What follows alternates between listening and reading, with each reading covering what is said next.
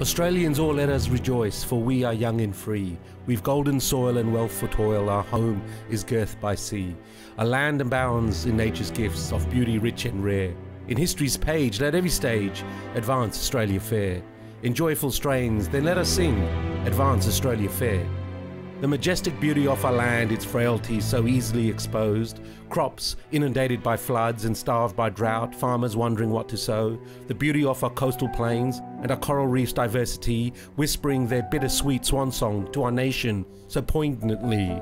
A story of unrelenting turmoil and tragedy, unlistening, unheard, unrecognized, affected by this new and terrible reality the imperceptible creeping rise of H2O, its higher tides and storm surges with its urges to wash away all signs of our humanity, while we struggle to see the impending calamity as it lurches ever closer, the harsh price we pay with weather patterns taking no pity on us damaged lands, our bedraggled homes pummeled by downpours and blight, our browning lawns gasping, eking out paltry vapors as they fight for their very survival. We stare on in false ecstasy, with false bravado at our lucky country, with idle chatter and polite social conversation. We fixate on investment of house prices with all their fallacies, choosing to ignore the elephant trumpeting in our room. Can you not see, Caesar? Rome is burning. We stare on, our gaze is carefully ignoring that which is in front of our eyes, like lobsters in a pot, frozen, oblivious to our impending culinary demise, and hors d'oeuvre to be quickly nibbled, digested, and our remains to be cast aside. Why so much apathy to this danger? The signals clearly in front of our eyes. How big do the billboards need to be to be recognized? Do the neon lights need to be flashing, the foghorns blaring? What can we surmise? What will it take for us to stumble off the couch, stumbling as if drunk, with bleary eyes, with uncertainty, with sweaty bodies fattened by inaction, with little consensus off the right path, with trepidation and meditation, but now with conviction, be brave, suck it in, we will enter the fray. Lead on, Macduff, lead on. Are we dare frozen by some blinding headlight? Is our political system too broken, too focused on sound bites that have no might? Are media chasing headline stories of vacuous celebrities that amount only to a pregnant pause? Are scientists shouting in the wilderness, their voices drowned out, not finding a voice that can be heard, not finding a connection to the greater cause? In this desert, do we simply bury our heads in the sand? Is the problem too large for us to understand? So do we shrug our shoulders and continue on our way? Do we have the power and wherewithal to stay, to fight, are we delegating our responsibility, believing that a higher power would be our salvation? That there will be no need for consternation, that the mighty Lord in his revelations will save us from our flaws? Is that our mitigation?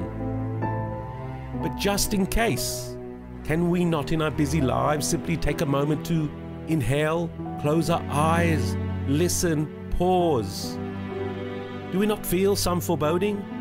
A faint tingling in our bodies, the tip of our tongue, our second sense? If we strain our eyes, do we not see the shadows lurking? How do we tear away a popcorn generation, one weaned on the teat? That is our fixation, a Facebook generation that will pout, take a pic, and share their devotion, hungry counting their ephemeral adulation, and a commitment so slight that, as a wispy breeze, it simply ends with a light. How do we put a stop to mind numbing activity? How do we shift our gaze to the fore to help us realize that the world's fuse has been lit? That this may lead to a moment, a moment that leaves the world with no option, no option but to eject us, eject us while our species, our species that is still in its infancy, a not so innocent babe in arms, snuffed out before its legacy has even begun.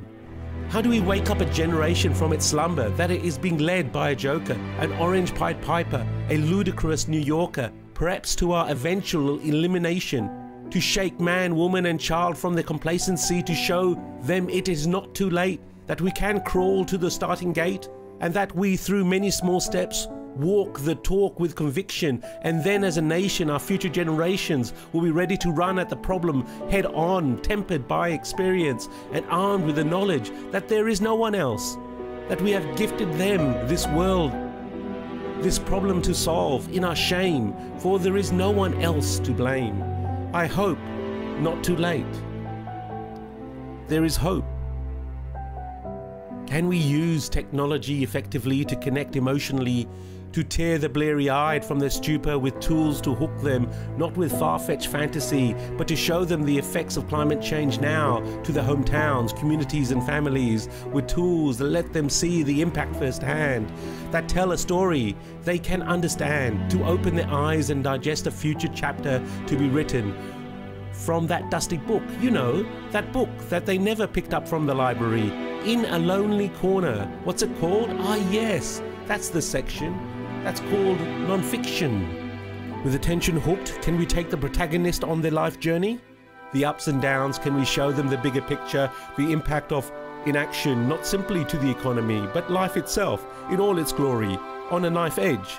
And in that cutting moment, which way will it fall? Can we help guide its sway? Can we show them how the lack of environment policy not demanding we answer the hard question, guys, wicked problems to be solved. Can you put data in their hands, help them with a crossword puzzle to make informed decisions for our land? Can we disintermediate the flow of information not controlled by faceless men, of corporations who seek to profit from a status quo that cannot be maintained? Disintermediate? those who want to hide ignore the worst cases, and those who seek to alarm of only worst cases, allow people to understand, to understand the risks, and take their own journey, allow them to tell their own story. Can one empowered with information, armed with knowledge, for with knowledge comes enlightenment, can one build a sense of urgency and with conviction to follow it to its bitter end? To be willing to make sacrifices on the way, a way that should have started yesterday, and though we fear our fortune, let us believe, let us hope that it is not too late, that our pregnant pause has not sealed our fate, that we can get out of the starting gate. Let us embark on our journey, on its twisted and turning path that will require some radical change. We must remember to be resilient, to be tenacious, not to give up hope. We must realize that to run, we must first walk. To walk, we must first crawl. To crawl, we must first know why. In our youth and freedom, to rejoice, to be free. Our history's gaze will require that we toil. Nature's gifts are waiting, and through our strains, we will rebuild our lucky country, and we will sing, we will advance Australia fair.